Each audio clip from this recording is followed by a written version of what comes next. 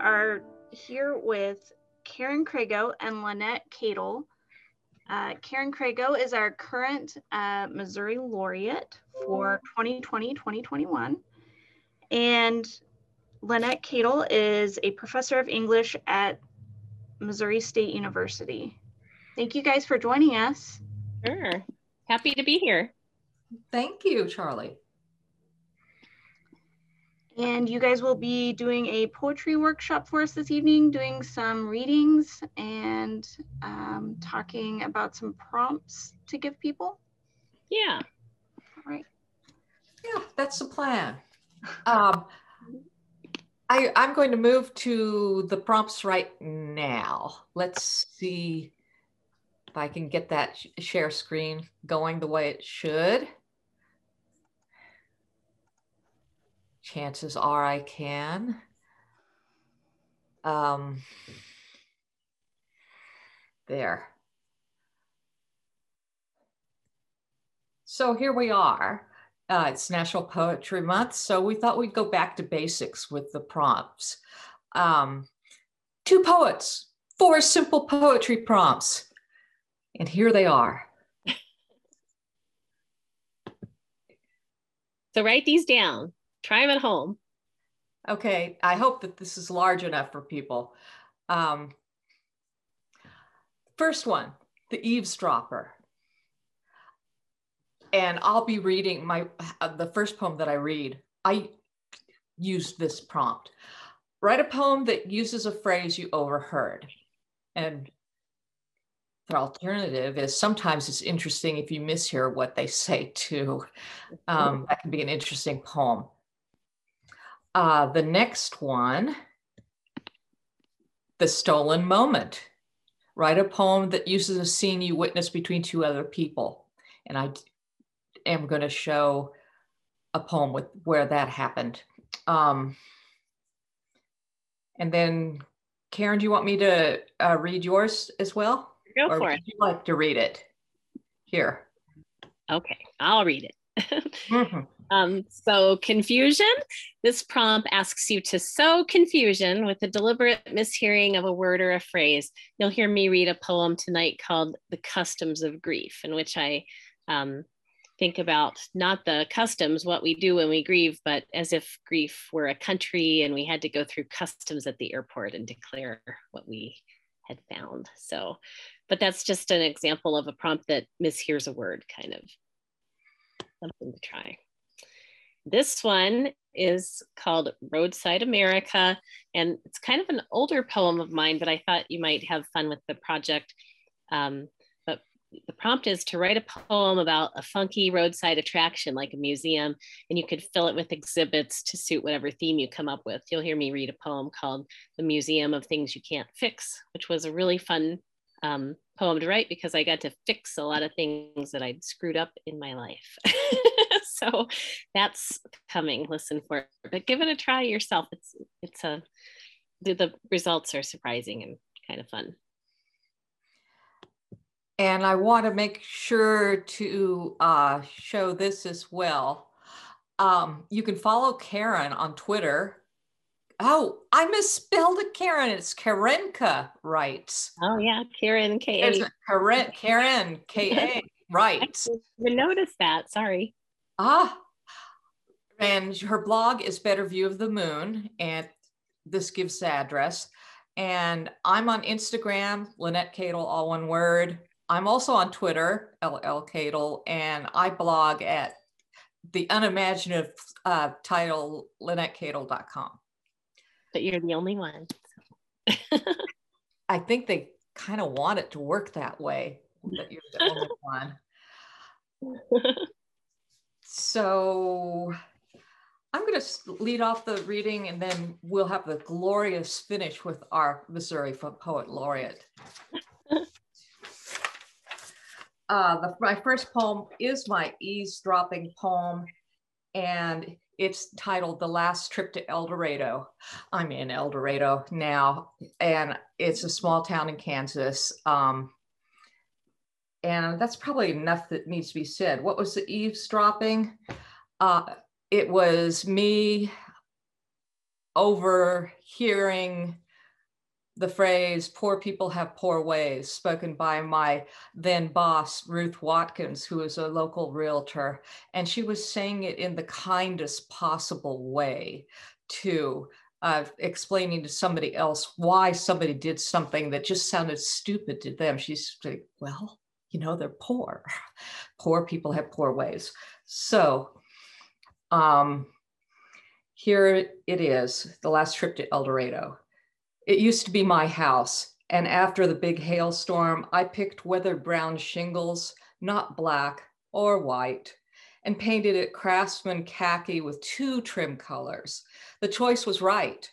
But I've learned that some people decide based on what used to cost more and no longer does, or by the largest swatch on the card. Someone sometime said that white paint was cheaper, or maybe conformity has more fans. The 1912 airplane bungalow is now watered down white.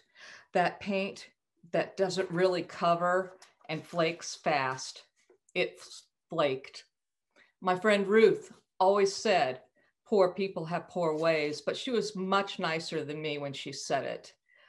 I blame them not for flaking paint, but for the boatloads of stupid that refuse to choose when choices are there and easy every single day. Expensive paint covers better and means you use less and repaint less often. Pretty costs the same as ugly, but then maybe they don't see the ugly the new owners were having a yard sale because the hospital was still buying off the neighborhood one block at a time. But they had time yet. Along with broken auto tools, crumpled clothes, and half burnt candles, up on the now wide porch rails was a line of heavy plastic figurines with sayings on them, the demented and cheaper versions of precious moments which are the demented and cheaper versions of Sistine angels. Just imagine the little angel children, only coarser and enclosed because naked would be wrong. Their smiles pursed to belch. They had at least 30 of them in a row with captions that say things like, I myth you, and watch out, I'm sexy in all caps, like chalkboard writing. If you believe in the power of things, the creation of critical mass that defines your space, you also believe that objects speak, they shriek out. The Precious Moment Chapel, a monument to purity and pastels in the Ozarks, which could be almost Kansas, but of course is not. I live where trees grow without irrigation and hills don't have to be marked hillside street to be noticed. I don't have any reason to take that drive now from Springfield to Wichita. My mother's dead and her ashes rest in an outdoor chapel that is always inside and outside. Marble walls framing two walls of glass that let the wide emptiness in. So green, so flat so carefully groomed, unmistakable for any place but Kansas. That niche was much too large, full coffin sized. And I can hear her saying, No, I want the big one. So, yeah, that was sometimes poems demand be written and That was one that yes, I had the phrase, but I also had the situation of my mother's death and, and returning for a funeral in Wichita. Um, the next poem is for the other prompt, the scene. And I'm going to flat out say the scene was a scene between some coworkers of mine when I work, worked at um, Crown Center in Kansas City in retail long ago. I was in my 20s then. And one of my coworkers um, was very pregnant and she got a burn on her arm from ironing and had to, you know, do things that did not involve drugs to take care of it. And one of the older coworkers just kind of said things like, oh, oh, you won't feel the pain, talking about birth. You won't feel the pain. It's the pain is nothing. You when you see that beautiful face your baby, it's all going to be worth it. And I'm sure many people that have heard those words, but hmm, hmm. And here's the poem. It's called The Cure. Salt has curative power, a cleansing burn for infection before it spreads or mutates into a boil. A boiling sore is animate, says what's cooking inside before skin breaks and the proof comes out. Even now, there are those who must rely on salt, like the pregnant woman who burned her arm ironing. It was deep, bone deep. And as each layer of flesh reformed, she had to scrape and retreat, a going back, but not far enough back to change what fortune dealt her. Becoming a mother wasn't supposed to be like this, all messy and full of pus. It was her hope to stack wishes like terry cloth sleepers in the closet, to ignore birth stories like the one shared by a woman from work who gave birth so long ago, her hallway was lined with bearded sons in portraits by Olan Mills. The pain is nothing, she says. The pain is forgotten. Even the sweat and the puffing that stalls the inevitable until the doctor says to go ahead and push. She denies pain to others, scrubs memory until it fades, an echo to the scrunched up, raging face that also fades into the pale silence of a sleeping child, her cure. Okay, those were my two prompt poems. Um, today's a special day in my family. Besides being special for this reading, today's my daughter's birthday. And um, here, here's a poem that I wrote um, for her. It's called Provenance. The pearls were bought at my uncle's jewelry store in Ludington, Michigan for my mother's 16th birthday and passed down to me for high school graduation. The me in sandals and India cotton who was dumbfounded at the concept of cotillion and debutantes. Um, and couldn't see a time when they would feel right around my neck. My uncle's store is gone. So is my uncle. True Midwesterners give directions by what isn't there. The pearls need skin to keep their patina, and we find our way by landmarks that hover at a flicker of an eyelid, but aren't there for outsiders who need road signs. Turn left at the corner where the IGA used to be, that turned into Mike's Apple Market, the one that got torn down for the hospital annex. The present has no part in this. The house you buy is the Johnson house, five families removed from the oil workers who bought it in 1912. No Johnson in sight, but they were. And the toy car my daughter digs up planting marigolds was rubbed to bare metal by tiny fingers, preserved by the natural oils left by their hands, proof that they were, and each pebble knows it, forms a provenance more powerful than any landmark. I wear pearls now, but not the ones my mother gave me. My daughter has those and adds one more line to, in the provenance, a line that may read, worn with jeans and given by her mother, along with a patina of stubbornness that needs no sense of direction or landmarks, a purposefulness that coats these pearls with the oil, the warmth of living flesh. Happy birthday, Paige. So those were all fairly long poems. I don't always write long poems um, and I don't always write about people and situations. I'm going to read a few smaller ones that have animals in them. This is a Springfield poem, by the way, a Springfield, Missouri poem. It's called Broken Sonnet with Birds. The birds swirl round the feeder on my deck as if it were the only source of food. Of course, it's not. My neighbor feeds them too, competing with the others on the block. The title Ecological Kingpin is the reward. The battle is fierce. He has a cardinal feeder in the front, a smaller one for finches in the back. And just for luck, a hummingbird saloon. He needs that luck. His outdoor cat got hit by lightning just last March. I think the birds did it. I don't know how. They flutter hate like semaphore, and the cat twitches back while birds dive for seed pods on the driveway.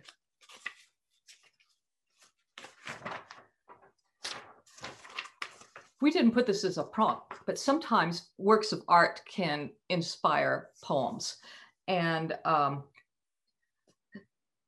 you might be familiar with the work of art in this title, Hopper's Nighthawks, Large Ginger Cat Remix.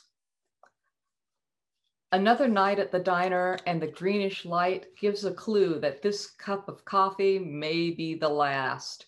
The end of the world is looming outside and it looks hungry. Ginger cats need four squares plus extras, and this one is door high and tired of waiting. Where is the milk? The greasy burgers he smelled blocks away. He would even take a strawberry if you rolled it outside. This is how it could end one soft pounce outside the door, or an open maw waiting for food in suits to walk in. Or it's barely possible humans will exit with pie and tuna salad, offerings that postpone death for another night.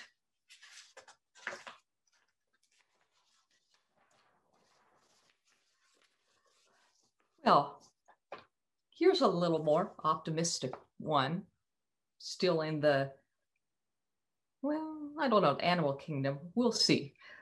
I call it partly shining. It doesn't do to have expectations. The slug oozing its way across asphalt expects what? The way back is clear. A thin line of dried iridescence shows it but slugs are all about progress. Look and see its eye stalk stretch, quizzically poke the air in spirals, then strain forward. The crushed rock and dried tar simply exist, no creator in sight, just like the forgotten grass. One broken pebble at a time, a series of loose chips, and the shining line with no hint of a sudden hand with salt shaker attached a slow world with no obstacles. Two inches past the edged turf line, a sprinkle head pops up, sprays a firm, watery fan. The edges feather and the ending, mist, overshoots the grass, forms a circle of partly shining black, a reason to go.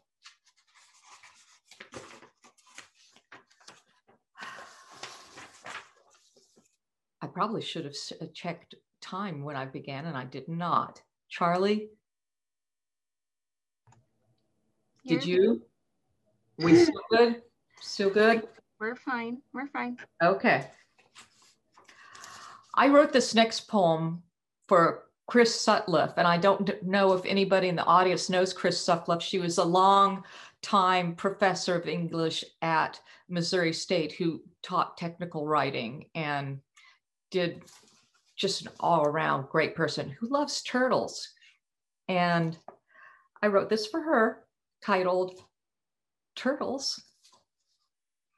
They crawl out from the rock wall, blinking in the spring, the light so flint edged, so different from the padded winter with its long dreams. This is no dream. Some nose the cold soil for worms or wait for the incautious fly, serious work in the shifting sun, while brothers, sisters crawl for the river, markings fluttered on shells like dappled leaves rustled by the hawk above.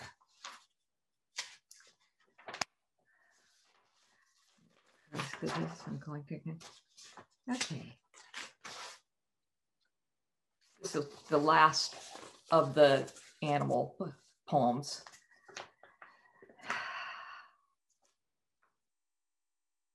You know, I this one was from a phrase too. Um, I got the names for the animals in this poem from a, a journal that a spy journal that my son uh, had, and he gave aliases for the people that he was spying on. You can tell he was fairly young at this point. And so two of his aliases are in this poem because I thought they were so fabulous. Thank you, Ted. What zoo animals say after hours. They call real names like underbelly dark and true claw slim. Soft Paw comes out of the artificial cave and calls for her mate, Bristle Nose, but he's been shipped to Toledo. She comes out each night all the same and calls for him, an act of love, not human, since she knows he isn't there. She smells his lack. The call is her song, and the song does not change just because he no longer fills the harmony. Gotta skip another one.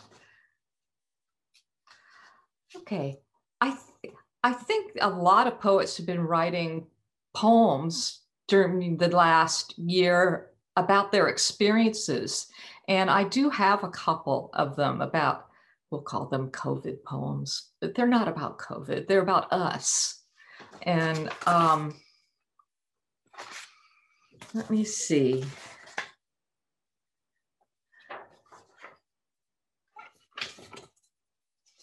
I'm deciding which one on the fly. Okay. Yes, this one's called Baking Bread. And Karen might be talking about a Missouri anthology that's coming up. I'll let her tell about that, but this will be in that. It takes a slower time, at least I thought it did, but really it slows time to the precision of a mise en place. First, prop the book and brush the dust of past bread from its pages. Then lay out the cups, the spoons, flour, sugar, salt, yeast, then liquids, butter, milk, water. Erase any guilt using a mixer may give. This is only the base, food for the little yeastling, little yeastlings. I used to worry about too much or too little flour, but now know how forgiving it is, how the dough speaks, lets me know when it's time to move from bowl to board. When I was young, it was my favorite part and still is the gradual addition of flour through heft, muscle, and bone. The book says 10 minutes, but I know other things mark the time. The thump, fold, stretch, thump, fold, stretch, sift is my metronome. And at last, I see the gluten glisten. It's humid today in Missouri, unlike younger bread mornings in other realms. So the first rise is fast and everything I could want. I punch it lightly and form two loaves, one to keep and one to give away. The smell stays for hours, filling a hunger I forgot I had. That night I slept.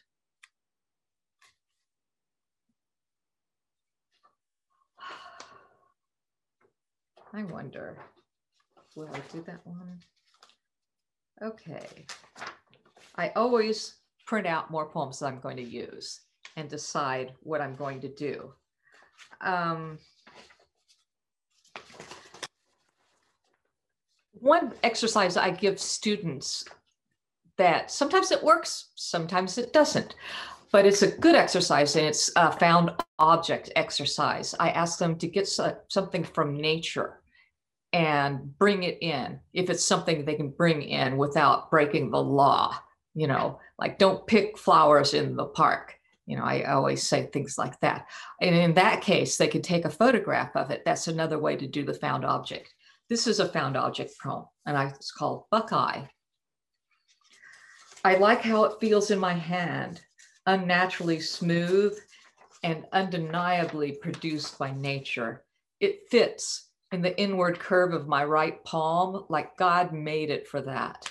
He or she, depending on the theology, did not, but there it sits, a smooth seed, ready to skip or throw or plant, a kernel of potential, motion encased, forming an equation like David plus a sling equals the fall of Goliath. There it sits, and as I look at it, it stares back at me, and I am fine with that. My soft side also toughened to a hard, finished sheen. Okay, this is the last poem I'm going to read, and um, it's it's a thank you poem to one of my past uh, poetry teachers, and it's also a love song for Kansas. I, you know what you're going to do? I love Kansas, and um, the titles Ad Astra per Aspera. You stole the sky from me that day, and I thought I'd never get over it. Then, that 50 minute drive from Wichita State to El Dorado was bracketed by the rolling land and heavy sky. You wrote, The sky presses down. And I felt it press. My inner ear felt the shift that makes the storm to come.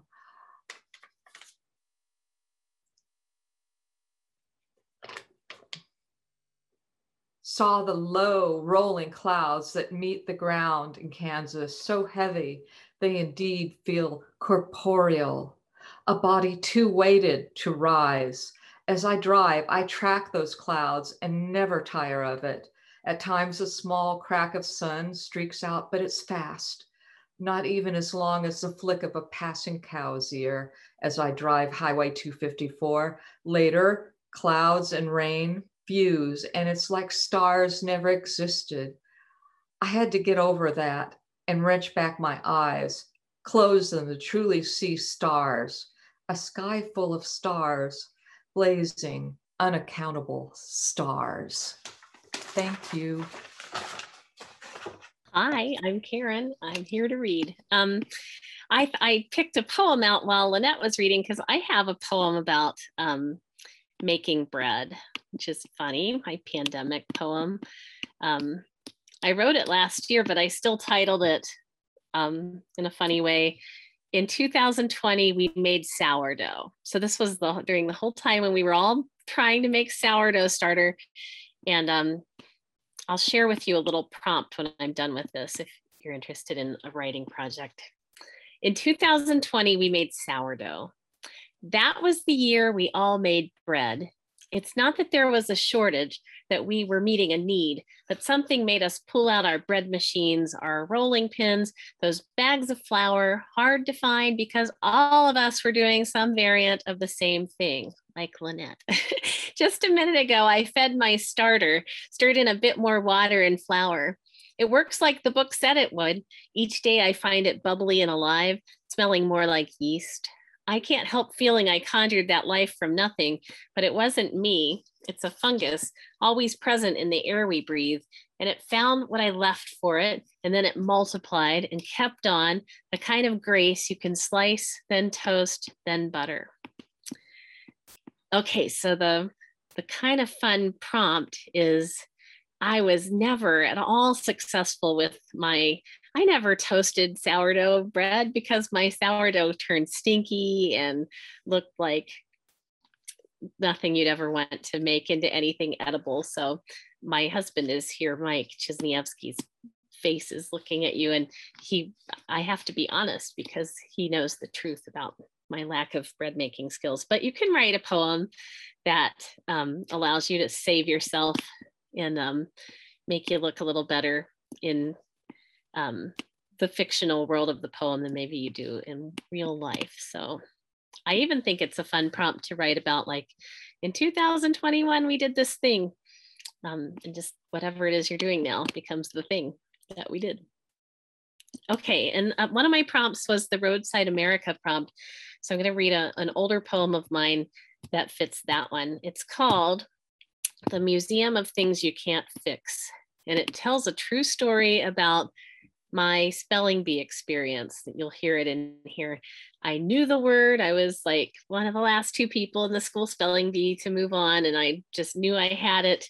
So I spit it out super cocky and I stumbled over the letters and you can't go back once you once the letter leaves your lips it's it's that's how you spell the word so i lost the spelling bee so the ironically titled titled the museum of things you can't fix i fix it here. True it's not your typical museum. Butterflies with taped wings every manner of household appliance photographs of children unconceived. Your mother is here too in the corner, obviously suffering, but making a brave face of it. You built this place brick by brick to remind yourself of the correct spelling of tabernacle, something you knew all along but stumbled on and were informed by the judges that starting over was against the rules.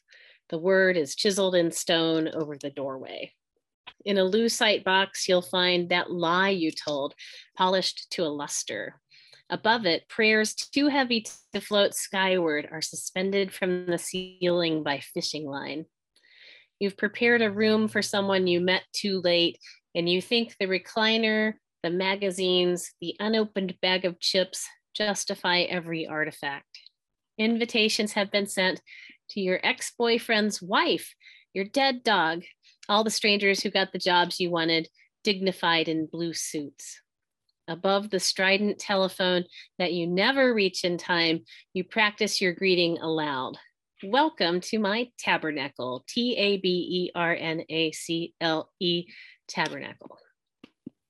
You always win the spelling bee the life of the mind. um, I mentioned another poem um, in the prompt area uh, the customs of grief, where you look at grief kind of like a, a country that you're returning from with all your baggages, baggage that you have to declare. So this is that poem. I've been dealing with grief a lot recently. I'm kind of out of that writing stage, um, but I lost my mother and my best friend, and I've um, been just thinking about grief in all kinds of ways. Some of them even kind of funny ways that surprised me, but um, I've just been sort of rolling in it and seeing what what I smell. so this is one of my grief poems, but you'll see it's not a you're not going to cry or anything. It's kind of funny. Okay, the customs of grief. Because I've spent some time there, someone asked me today about grief and its customs. I thought of it then as a line at the airport where you dare not sneak in the barbed, misshapen fruit of that country, nor its national dress made of ashes, nor its currency, which you carve from your own skin like an apple peel that you try to keep in one piece. I have a lot to declare. I've smuggled more than I can carry, though I know I'll be back many times, maybe take up residence by its salt sea, its anthem thick on my tongue. If you've ever lost somebody that you care about. Um, it is like that. It's like baggage that you carry, and and um, you, you you do have a lot to declare. So that's what poetry is good for. Okay, here's a poem about my mother. Um, shortly after she died, I couldn't really see her face. I can see it perfectly now in my um, mind's eye, but I just sort of lost my mom's face. Lanette lost her mother recently too. I don't know if it's uh, something that you can relate to or not, but I just sort of couldn't picture her. If a um, police artist was sitting in front of me, I couldn't describe the culprit. it was my mom. Inadequate ode to the face of my mom. I tried to picture my mother, but all I could see was a stone, not the kind with letters and dates, but simpler, small, a plain rock I could hold in my palm, cold and unremarkable. Failure made me feel hard. I wished I had studied the grooves of her face, contour a map to everything she'd seen. But then I sat in a chair, pulled my son to my chest, and I felt a fault grow, a chasm, and from it heat and light spilled from me, took in my son, the chair, the floors and walls, and by its light I made her out, broken too and blazing. So I kind of like that discovery I made in this that I couldn't hold my own child and feel a fault grow. And I realized that this sort of failure that I was feeling, every mom feels that, including my mother. And so this fault or chasm is also like a shared sense of, you know, failing. And then you don't feel like such a failure anymore. Um, so that's good. Poetry is very good for the spirit. All right. Here's a poem about writing Ars Poetica. Um, and um, that, that's another good prompt. If you're not quite sure what to write about, go there and write about your processes and what you're trying to accomplish. This is called The Poet Winnows and Sorts. It's about writer's block. When I have been too long away, I begin not with words, but a series of loops on the page, a little line of hash marks, a scribble. I don't believe the poems leave us. They are always at hand, though sometimes they struggle to ease through. Imagine you have a purse, more like a pouch, really, a bit of hide drawn with a cord, and say it's full of millet, amaranth, some other ancient grain, but also a single gem of no great worth, amber or nephrite, unexpected there among the kernels, nothing you'd welcome in your pottage, but lovely to find in the pouring, something special to turn in your palm, see how it catches the light. So that's a kind of a strange poem about finding a gem in your cereal grain, but that's what poetry is. Sometimes you, you try to make like oatmeal and you end up with this gem. you're trying to write about the the workaday stuff and you're just gifted with this special thing that you don't even know what to do with sometimes. Um, writing some poems these days about um, just sort of spiritual realm and uh, you're like loosely theological, but very personal. So um, this is one of those poems. And you have to understand that I kind of come from a, a maybe a um, well, the New Thought religious tradition, which is more um, like kind of praises the self and would never claim that any of us are are wretched sinners. it's just a different like different thing. So this poem kind of comes from that. I am.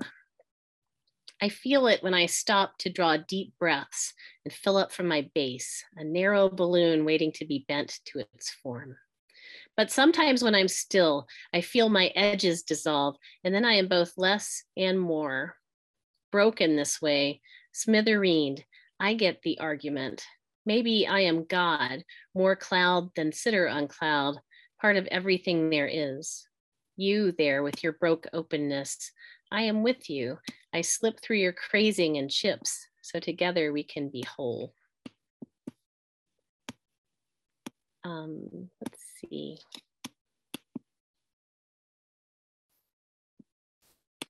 Here's a poem called, it's kind of in the same vein of um, this kind of holy self kind of idea. Um,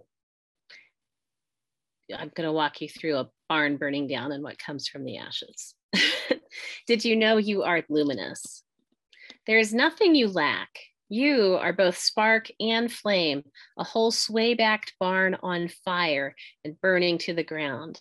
Then your rubble, the foot that kicks up ash, the runes and talismans scuffed into black, the flash of new green that will rise eventually with water and sun and a bit of time. There is so much power in you to grow the tree, to age and plane the wood, to craft a church worthy of the touch of your knees.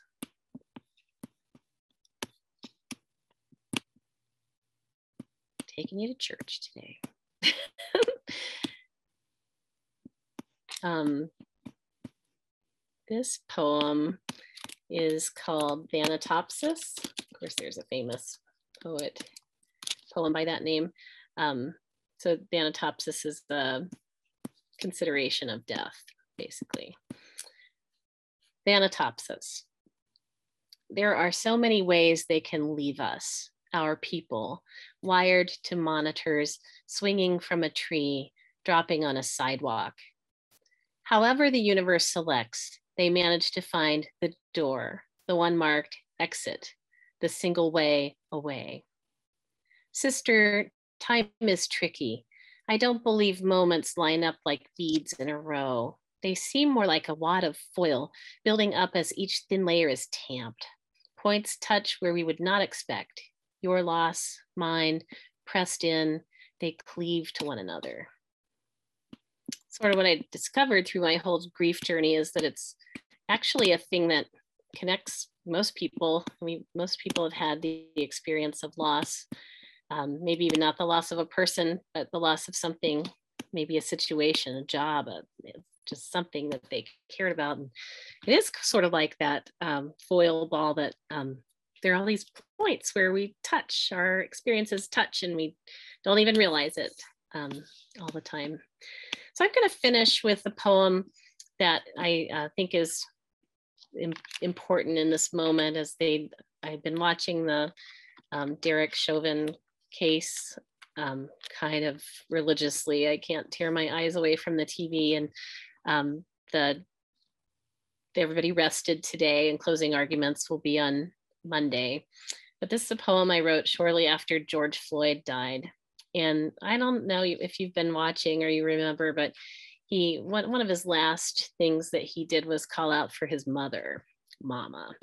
And um, I think every mom kind of like sat up and took notice when that happened. We were all kind of on call and on alert.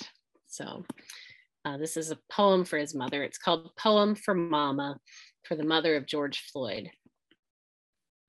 Someone kneeled on the neck of a man, and now the man is gone. It's an old story, flesh muscling into flesh, the slim pipe of the trachea opening a little so hardly anything gets in or out. But what does manage to escape is his dead mother's name. I'm mom to my sons, and I want to be a good one. They're white but kind, and the young one doesn't understand, but his brother begins to. And so I beg them both, the way all mothers should, for George's mom, whose name I can't find, but whom we all know as Mama, for Mama, please be a witness, be a witness. And that's it for me. Thank you, everybody, for tuning in tonight. I don't know if we have anything else going on, Charlie, questions or whatever, but my part's done. both for doing this, even though nobody's shown up. But thank you both for uh, reading your beautiful poems.